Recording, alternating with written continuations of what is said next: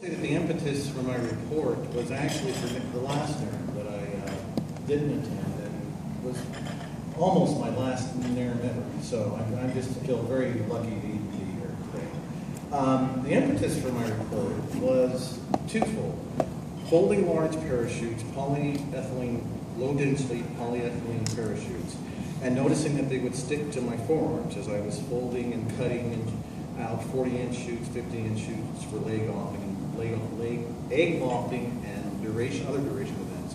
And then other events where 8th APD, which we had last NARAM, where the chute would eject, but the chute would fall faster than the body, and it would hit the ground before the body, and you pick it up, you think, well, it must have melted something. You pick it up, the chute just unfurls like there's nothing wrong. So that's, that's what this started with. So with the first slide here, what I did was I had to look at the role of static electricity. I had to also find out can electrostatic energy be added to sheets? And then can electrostatic energy be used in a repulsive manner to aid in the opening of the chutes? Meaning can I somehow use it to push the panels of the sheets together? We'll go to the next slide. Okay, this is um, a diagram showing the pellets that the low-density polyethylene uh, plastic is in before it's actually melted and extruded or pulled over rollers. Um, and the second uh, picture shows sort of a lattice structure of what the parachute material looks like at the atomic level. And with any conductor, or anything that can conduct, electrons are going to move on the surface of the material, not readily through the volume of the material. If you do, then you've got something wrong, and you start burning out wires, that. But that's, that's not what we're doing here. Okay, so we have pellets that are melted and extruded over rollers into sheets. In the case of, uh, and uh, this, this is just a graphical representation of what's going on, so now you know what your parachute looks like at the at atomic level. Um, here we have a, a, a situation where uh, we have the electrical properties of chutes, and um, let me at my glasses on here. LLPD, which a lot of us use in competition, at, at a temperature of 25 degrees Celsius, has a 10 to the 16 uh, ohms per uh, centimeter resistance. And then you have mylar, which is 10 to the 18, which is two orders of magnitude greater, and then Estes chutes, which are right in the middle. The reason why mylar has a higher resistance is because what they do is when they take the low uh, density uh, uh, polyethylene uh, material, they take molten aluminum and they spray that in a vapor over the sheets and they let it settle. Now, aluminum is highly, highly electronegative, meaning it wants to capture and hold on to electrons more readily. It'll still share them, but you have to do generally something, um, you have to put a little bit more effort and energy to tug uh, electrons away from them. Okay, the next slide is the triboelectric scale. Now, the tri trivio uh, refers to rubbing. Electric, well, electrons. And I wanted to highlight in yellow the, uh, the case for polyethylene, which is way over here. It is a contributor of electrons. Notice over here that things like human hand skin contact is a great receptor. We have a, our, the pH of our own bodies is, is a little bit acidic. So we are always attracting electrons to our flesh and this is what happens when you go across a carpet or you go of a car door on a, a very cold uh, day where static electricity can build up. You touch something and there's an arc. It's like a shock. Okay? So this is fine and dandy. Uh, here we have a slide that's just a general basic understanding of what a, a capacitor between plates, and in this case, envision this as your chute material, might do when you have one part of your parachute that has a net positive charge and the other part of your parachute has a net, net negative charge. You can actually develop a field in between the, the particular panels. Okay? And of course, Coulomb's law, which is very similar to uh, Newton's law of gravitation, except uh, we, uh, we do a weird thing with epsilon naught, and uh, that's the uh, permittivity. Yeah, permitted, yeah, permittivity of free space. In this case, Air and a vacuum are very, very similar, so we go ahead and use the, the value for a vacuum. In this slide, uh, I decided to go ahead and just take a electron charge and go ahead and see what happens when I have a, a positive charge and a negative charge, just one uh, electron, and see what kind of force I have. Now, the force to us isn't very much. It's only uh, 10 to the uh, 2.3 times uh, 10 to the negative 19 newtons, but in order in, in, to an electron that only weighs 10 to the negative 31 kilograms, that's a tremendous force. That's actually a relativistic type of force. And this is why your computers and such, your electrical uh, hardware get very, very hot and require heat sinks. Okay, so let's move on here. Uh, in this slide, we use Gaussians, the Gauss, uh, Gauss's law that tells us that the amount of electromagnetic, or in this case, electrical field going into a volume is going to be equal to the same amount going out of that volume. You don't get nothing for free. You don't get free energy out of this stuff. So let's just move on to here. This is just a way to compute the electric field between two plates by using Gauss's law. And the, the slide is very self-explanatory. And I, I'm sorry, I'm having to rush through this because I have a lot to say. Okay, items to take note of. LLPD, uh, the low, the, uh, the low density um, polyethylene chutes can and do behave as capacitors. They do have an electrical property. The human body has a potential difference across our skins of uh, anywhere from 10 to 100 millivolts. Uh, the act of rubbing objects far apart on the triboelectric series is generally a microcoulomb. Uh, the electric field is independent of the distance between the two plates as long as the distance is small relative to the size of the plates. And that's just a way of just saying you don't have any outside influences affecting the field inside. And electric fields that cause arcing in air to occur, that, that this occurs when the field streams reach about 3.0 times 10 to the 6 uh, volts per lightning, or shocking somebody. You know, your kid, you're, you generate and you go touch a friend, or I guess. All right. So what I did was I said, well, let's look at the worst case scenario. Let's say I have a parachute that's 30 centimeters, 30 centimeters in diameter, and I'm going to assume that one of the folds is negative charge, the other fold is a positive charge. And that's, that'll never happen, but I just want to look at the worst case scenario. So I go through the equations that I've already uh, figured out. I, I, compute the field in there. I take uh, the amount of charge that I have there, just a, a microcoulomb. And it turns out that there's actually 28.2 newtons of force binding these panels together if that situation were to occur. Think of it the same way with two pieces of glass. You take a small, like film, small couple drops of water, you put the water together. Two. Okay, well, let me, all right, here we go. Um, so I said, okay, well, let's just go to an inch. Let's say we have an inch squared.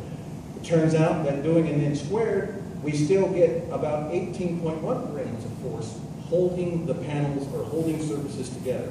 Well, a lot of our competition models weigh far, far less than the 18 grams.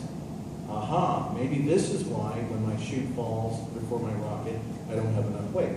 So let's move on. The experiment. I took a, I constructed a 5.6 gram chute. I use a insulated surface to fold. I use this guy right here. This is a usually a bait launcher, but I converted it into a bait chute launcher charge it up to 10 psi, which is normal for black powder motors.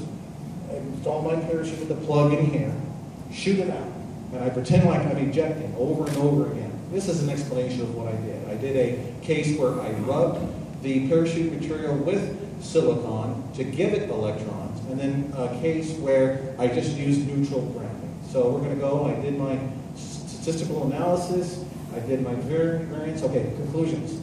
The data does in fact uh, follow a normalized distribution that can be accepted statistically. So it's not just garbage, it's actually real.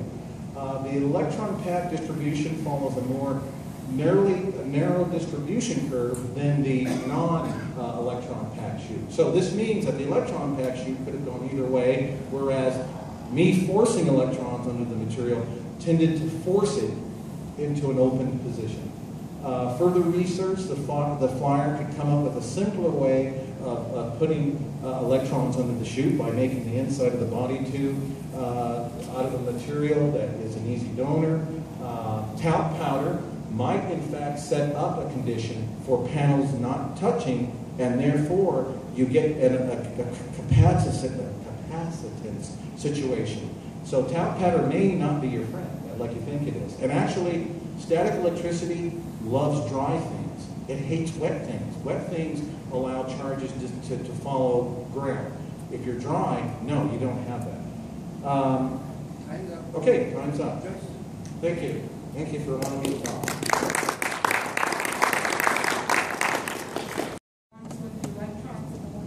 Okay, I did 50 where I would take the shoe, and I'm, all, I'm wearing gloves when I'm doing this, so I'm being very careful about electrostatic buildup and potential. 50 with no induced packing, and then 50 with an induced packing. So, uh, and I, I I like this, this, this solution I came up with because if I flew it, I'm constantly changing the parachute, I'm melting it, I'm losing, it's not in the same condition every time I fly it. This way, it's pretty much, you know, except for atoms, and I'm not measuring that, the parachute is unchanged. Now, what percentage opened when you put the electrons on and what percentage without? Ninety percent, I got a ninety percent percentage of opening when I pack the chute in this situation. I got a sixty-six percent result when I didn't uh, add any electrical or any uh, electrons to it. So there was definitely a, a drastic difference between chute opening fully and chute not opening fully. And this is probably too hard for you to explain in thirty seconds. I'll try. But you, there were several different resistivities you gave in your presentation. Some of them had ohms as their units, some had ohms per square meter, Mhm. and some had ohms dash centimeter.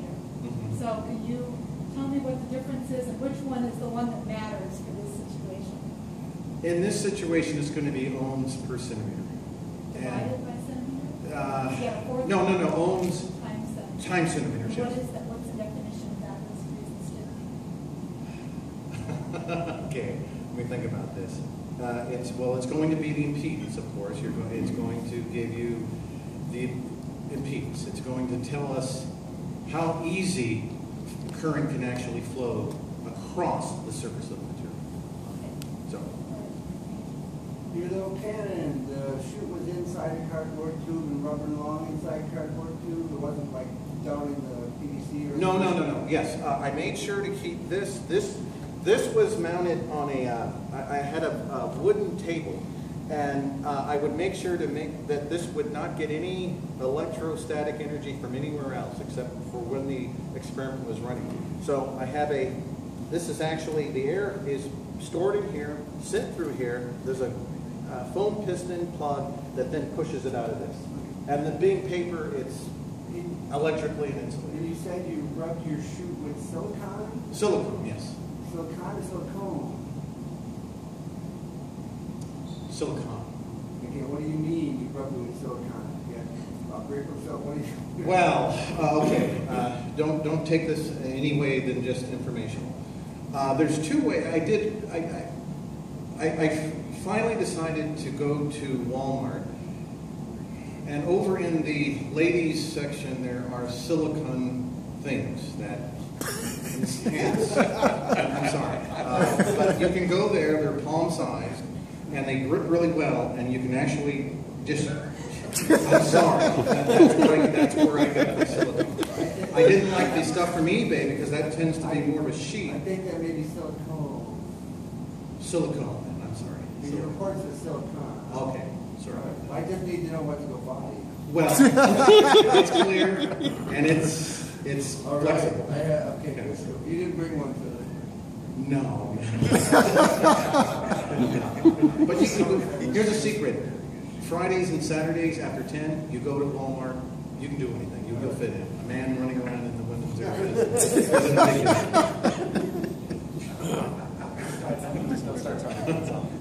Um, Question, as, I- as I read your methodology for prep, Yes. uh, having deep grounded, Yes. working on the insulated surface, I mean, clearly, if, if in competition where, where, where you take that kind of care Mhm. and where milligrams count, I completely get it. I, I was wondering, as, as you spoke, it didn't occur to me while I was reading, that, uh, that if talc isn't doing, when, when you said that, that, uh, that water, the moisture is actually beneficial. Have you given any thought uh, to, to misting, taking a spray bottle and misting the chute before you fold? Yes, with alcohol, so that it evaporates. Uh, Alcohol is in a water solution. It's, it has a hot, a very low temperature, so you could do that. Um, That, that's one way. A few years ago, I was in a data center and I see these misters, and I'm thinking, why are you guys spraying water in your computers? Well, it's because water allows a pathway for static electricity. So static electricity can be your friend or it can be your enemy.